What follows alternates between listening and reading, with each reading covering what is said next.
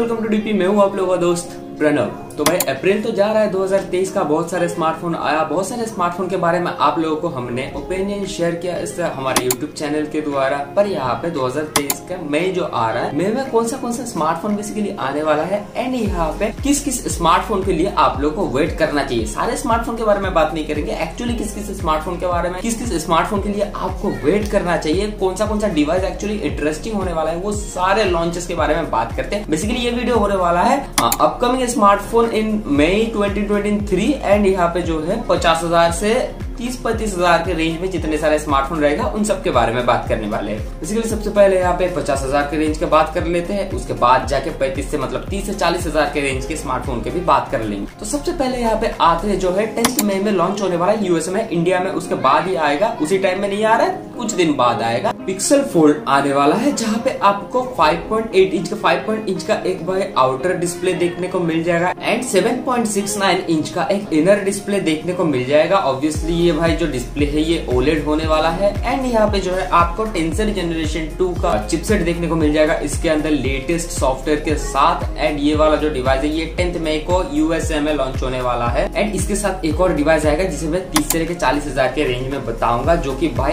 Actually में काफ़ी interesting होने वाला है। जो लोग वेट कर रहे हो गूगल के डिवाइसेस के लिए या फिर एक क्लीन ओएस का मज़ा लेना चाहते हो उन लोगों के लिए ये डिवाइस है। थोड़ा सा इंतज़ार कर लीजिए, तीस से लेकर चालीस हज़ार के रेंज में अभी बताने वाला हूँ। नेक्स्ट आते हैं मोटोरोला एच फोर्टी सीरीज़ में। यहाँ पे एच फोर्टी जो सीरीज़ आने वाला है, यहाँ पे एच फोर्टी प्रो आने वाला है। एंड यहाँ पे मीडियाटेक का एक वर्जन रहेगा, जहाँ पे MediaTek eight zero two zero देखने को मिल जाएगा। एंड दूसरा वाला एक वर्जन रहेगा, जो की एकदम प्रीमियम होने वाला है। यहाँ पे एट जेन टू के साथ आने वाला है, ऐसा कुछ बहुत सब कुछ मिला के। तो ये जो डिवाइस है, यहाँ पे 6.5 इंच का एक पी ओलेड डिस्प्ले देखने को मिल जाएगा। पी ओलेड डिस्प्ले बेसिकली यहाँ पे क्रेज मोटरोला नहीं लाया था। प्लास्टिक ओलेड डिस्प्ले जो होता है, यहाँ पे 144 फोर्टी का रिफ्रेश रेट भी देखने को मिल जाएगा। LPDDR 4X का रैम टाइप देखने को मिल जाएगा। यूएफएस 3.1 का स्टोरेज वर्जन देखने को मिल जाएगा, जो कि बेसिकली यहाँ पे बजट में आने वाला है, जो वाला मतलब मोटरोला एज 40 सीरीज़ के अंदर जो बजट के स्मार्टफ़ोन है, वहाँ पे आपको देखने को मिल जाएगा और ये मिड मे में लॉन्च होगा इंडिया में।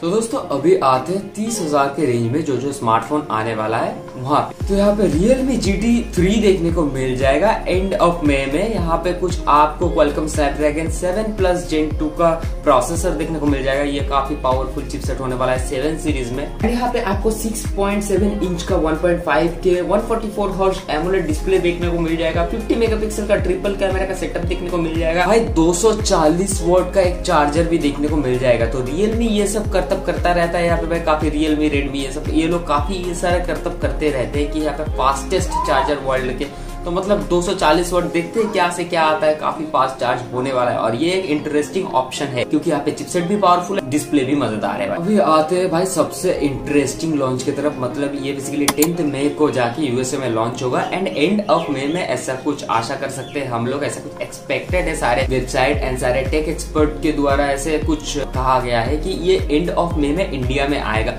Google Pixel seven A Google Pixel six A ने कितना ज़्यादा गुल खिलाया आप लोगों को तो पता ही होगा। एंड यहाँ यहाँ पे जो है 64 मेगापिक्सल का ओआईएस के साथ सोनी आई एम एक्स देखने को मिल जाएगा टेंसर जनरेशन 2 का प्रोसेसर देखने को मिल जाएगा ओलेड डिस्प्ले ऑब्वियसली होने वाला है 90 हर्ट्ज रिफ्रेश रेट रहेगा। एंड यहाँ पे आपको 12 मेगापिक्सल का एक अल्ट्रा वाइड भी देखने को मिल जाएगा बेसिकली पिक्सल 7a में बहुत सारे सुधार किए जाएँगे तो 6a का ऑब्वियसली एक सक्सेसर है। यहाँ पे बहुत सारे चीज़ कमाल का होने वाला तो भाई, मैं तो काफ़ी एक्साइटेड हूँ, देखते हैं क्या क्या होता है इन सारे डिवाइसेस के साथ। वैसे आपको क्या लगता है भाई? कमेंट में ज़रूर से बोलिए।